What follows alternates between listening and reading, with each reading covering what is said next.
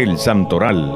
Historia, reflexión y ejemplo de cada santo con el presbítero Juan Duque. Hoy la iglesia recuerda a San Braulio, obispo. Braulio significa espada de fuego. Fue discípulo y amigo del gran sabio San Isidoro de Sevilla, al cual le ayudó mucho en la corrección y edición de sus libros. Al morir su hermano Juan, que era obispo de Zaragoza, el clero y los fieles lo eligieron para que lo reemplazara. Como obispo se preocupó mucho por tratar de que el pueblo se instruyera más en la religión y por estirpar y acabar con los errores y herejías que se habían propagado especialmente el arrianismo, una doctrina hereje que negaba que Jesucristo sea Dios verdadero.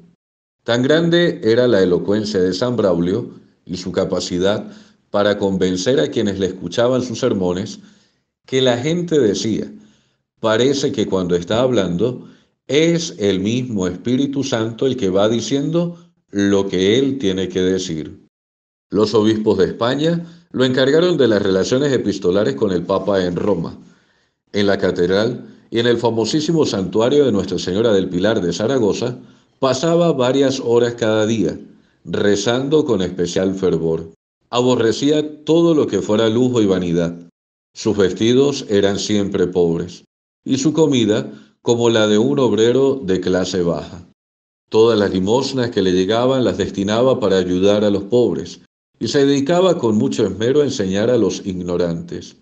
La gente decía que era difícil encontrar en el país uno que fuera más sabio que él, y en sus cartas se nota que ha leído muchos autores famosos.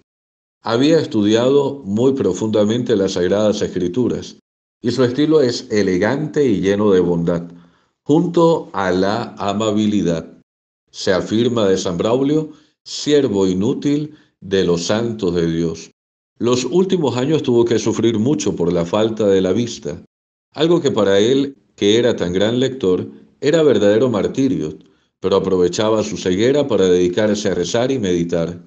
Tuvo como alumno a otro gran santo, San Eugenio Obispo. Poco antes de morir, le pareció escuchar aquellas palabras de Jesús. Ven, siervo bueno y fiel, Has sido fiel en lo poco, te pondré sobre lo mucho. Entra en el gozo de tu Señor. Y respondió entusiasmado, Voy pronto, Señor, ya estoy listo. Murió santamente el año 651. Todo lo puedo en Cristo que me fortalece. San Pablo.